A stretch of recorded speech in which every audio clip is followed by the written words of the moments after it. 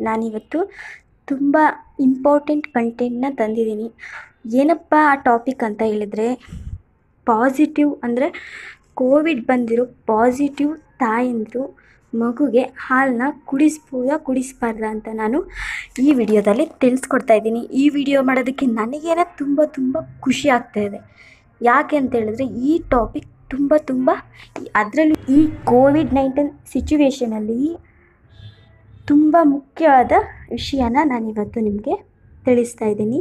Okay video ಶುರು ಮಾಡೋಣ. Video ಶುರು ಮಾಡೋಕ್ಕಿಂತ ಮುಂಚೆ ಯಾರ್ಯಾರು ನನ್ನ ವಿಡಿಯೋ ನೋಡ್ತಾ ಇದ್ದೀರಾ ಪ್ಲೀಸ್ ಒಂದು ಲೈಕ್ ಬಟನ್ ಪ್ರೆಸ್ ಮಾಡಿ ಅಂತ ಹೇಳ್ತಾ, ಯಾರ್ಯಾರು ಇದೇ ಫಸ್ಟ್ ನನ್ನ ಚಾನಲ್ನ ನೋಡ್ತಾ ಇದ್ದೀರಾ ಅಂದರೆ ಪ್ಲೀಸ್ ಸಬ್ಸ್ಕ್ರೈಬ್ ಮಾಡ್ಕೊಳ್ಳಿ. ನಾನು ಇನ್ನು ಮುಂದೆ ನಿಮಗೆ ಒಳ್ಳೆ ಒಳ್ಳೆ ವಿಷಯ ಕಂಟೆಂಟ್ನ ನಾನು ನಿಮ್ಮ ಮುಂದೆ ತೊಗೊಂಡು ಬರ್ತೀನಿ ಅಂತ ಹೇಳ್ತಾ ವಿಡಿಯೋ ಶುರು ಮಾಡೋಣ. ಓಕೆ ವಿಡಿಯೋ ಶುರು ಮಾಡೋದಕ್ಕಿಂತ ಮುಂಚೆ ಈ ವಿಡಿಯೋನ ಪೂರ್ತಿಯಾಗಿ ನೋಡಿ, ನೀವು ಮಧ್ಯದಲ್ಲೇ ಸ್ಕಿಪ್ ಮಾಡಿದ್ರೆಲ್ಲ ಏನೂ ಅರ್ಥ ಆಗಲ್ಲ. ಆದ್ದರಿಂದ ಈ ವಿಡಿಯೋನ ಕೊನೆ ತನಕ ನೋಡಿ. ಒಂದು ವೇಳೆ ಸ್ತನ್ಯಪಾನ ಮಾಡಿಸುತ್ತಿದ್ದು ಕೋವಿಡ್ ನೈನ್ಟೀನ್ ಸೋಂಕು ತಾಗೆ ಇರುವುದು ದೃಢಪಟ್ಟಿದ್ದರೆ ಶಿಶುವಿಗೆ ಸೋಂಕು ಹರಡುವುದು ತಪ್ಪಿಸಲು ಕೆಲವು ಕ್ರಮಗಳನ್ನು ತೆಗೆದುಕೊಳ್ಬೋದು ಯಾವ್ಯಾವುದಪ್ಪ ಆ ಕ್ರಮಗಳು ಅಂತ ಹೇಳಿದರೆ ಲೈನ್ ಲೈನ್ ಬೈ ಲೈನ್ ಹೇಳ್ಕೊಂಡು ಹೋಗ್ತೀನಿ. ಶಿಶುವನ್ನು ಮುಟ್ಟುವ ಮೊದಲೇ ಕೈಗಳನ್ನು ಸ್ವಚ್ಛವಾಗಿ ತೊಳೆದು ತೊಳೆದು ಬಟ್ಟೆಯ ಮಾಸ್ಕ್ ಅಥವಾ ಯಾವುದೋ ಮಾಸ್ಕ್, ಯಾವುದು ಅಂತ ನೆಗೆಟ, ನೆಗ್ಲೆಕ್ಟ್ ಮಾಡಬೇಡಿ. ಇಂಪಾರ್ಟೆಂಟ್ ಆಗಿರೋದೇ ಮಾಸ್ಕ್. ಮಾಸ್ಕ್ನ ಧರಿಸಿ ಸಾಧ್ಯವಾದರೆ ನೀವು ಎದೆಯನ್ನು ಕುಡಿಸ್ತಿರುವಾಗಲೂ ಮಾಸ್ಕ್ನ ಧರಿಸೋದು ತುಂಬ ತುಂಬ ಇಂಪಾರ್ಟೆಂಟ್ ಆಗುತ್ತೆ. ಪ್ರತ್ಯೇಕವಾಗಿ ಏನೇನು ಮಾಡಬೇಕು? ತಾಯಿ ಹಾಗೂ ಮಗುವನ್ನು ಈ ಸಂದರ್ಭದಲ್ಲಿ ಆಸ್ಪತ್ರೆಯಲ್ಲಿ ಪ್ರತ್ಯೇಕವಾಗಿ ಇರಿಸಲಾಗುತ್ತೆ. ಹಾಲುಣಿಸುವುದು ಆದರೆ ಬ್ರೆಸ್ಟ್ ಪಂಪ್ ಮೂಲಕ ಹಾಲನ್ನು ತೆಗೆದು ಮಗುವಿಗೆ ನೀವು ಕುಡಿಸ್ಬೋದು. ಆರೋಗ್ಯವಂತ ಆರೈಕೆದಾರರು ನವಜಾತ ಶಿಶುವನ್ನು ಪಾಲನೆ ಮಾಡಬೇಕು.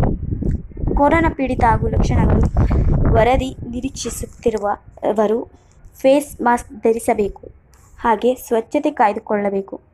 ಆನಂತರವೇ ತನ್ನ ಶಿಶುವಿನ ಹತ್ತಿರ ಹೋಗಬೇಕು, ಸ್ತನ್ಯಪಾನ ಮಾಡಿಸಬಹುದು.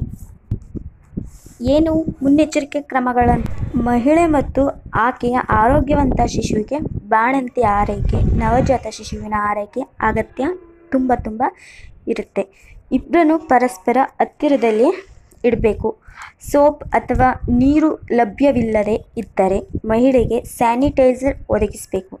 ಹಾಗೂ ಅದು ಶೇಕಡ ಅರವತ್ತರಷ್ಟು ಐಸೋಪ್ರೋಮಿಲ್ ಆಲ್ಕೋಹಾಲ್ ಹೊಂದಿರಬೇಕು. ನವಜಾತ ಶಿಶುವಿಗೆ ಪ್ರತ್ಯೇಕ ನಿಗಾ ಕೊಠಡಿ ಇರಬೇಕು. ಹಾಗೂ ನೋಡೋಕ್ಕೆ ನೋಡಿಕೊಳ್ಳಲು ನಿರ್ದಿಷ್ಟವಾಗಿ ಪಿ ಐ ಖಂಡಿತ ಇರಬೇಕು.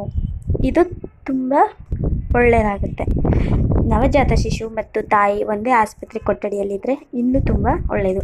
ಪರಸ್ಪರ ಇರುವಂತೆ ನೀವು ನೋಡ್ಕೊಡ್ಬೇಕಾಗುತ್ತೆ ತಾಯಿ ಮತ್ತು ಶಿಶುವಿನ ನಡುವೆ ಪರದೆ ಬಿಳಿ ಬಿಟ್ಟಿರಬೇಕು. ಇದರ ನಡುವೆ ಕನಿಷ್ಠ ಆರು ಅಡಿ ಆದರೂ ಅಂತರನ ನೀವು ಇರಿಸೋಕ್ಕೆ ನೋಡ್ಕೋಬೇಕು. ಪ್ರತ್ಯೇಕ ಪ್ರತ್ಯೇಕವಾಗಿ I C I C U ice I C U ಘಟಕವನ್ನು ರಚಿಸಬೇಕು. ಇಂಥ N I C U isolation ಹಾಗೆಯೇ ಇತರರು ಇರುವಂತೆ ಪ್ರವೇಶಿಸಲು ನಿರ್ಬಂಧ ವಿಧಿಸಬೇಕು. ಓಕೆನಾ? ಇದು ನಿಮಗೆ ಅರ್ಥ ಆಗಿದೆ ಅಂತ ಹೇಳ್ಕೊಂಡು ಅಂದ್ಕೊಂಡಿದ್ದೀನಿ ಈ ವಿಡಿಯೋ ಏನಾದರೂ ಇಷ್ಟ ಆದರೆ ಲೈಕ್ ಮಾಡಿ ಸಬ್ಸ್ಕ್ರೈಬ್ ಮಾಡ್ಕೊಳ್ಳಿ. ಹಾಗೆಯೇ ಪಕ್ಕದಲ್ಲಿರೋ ಬೆಲ್ಲೈಕನ್ ಮಾತ್ರ ಮರೆಯೋದನ್ನ ಮರಿ ಮುನ್ ಇನ್ನೂ ಮುಂದೆ ಮುಂದೆ ವಿಡಿಯೋದಲ್ಲಿ ನಾನು ನಿಮಗೆ ತುಂಬ ಚೆನ್ನಾಗಿರೋ ವಿಡಿಯೋನ ತಿಳಿಸ್ತಾ ಇದ್ದೀನಿ. ಇದರಲ್ಲಿ ಏನಾದರೂ ತಪ್ಪಾಗಿದ್ದರೆ ಪ್ಲೀಸ್ ತಪ್ಪಾಗಿ ತಿಳ್ಕೊಬೇಡಿ ಅಂತ ಹೇಳ್ತಾ ಇಲ್ಲಿಗೆ ಈ ವಿಡಿಯೋನ ಮುಗಿಸ್ತಾ ಇದ್ದೀನಿ. ಬಾಯ್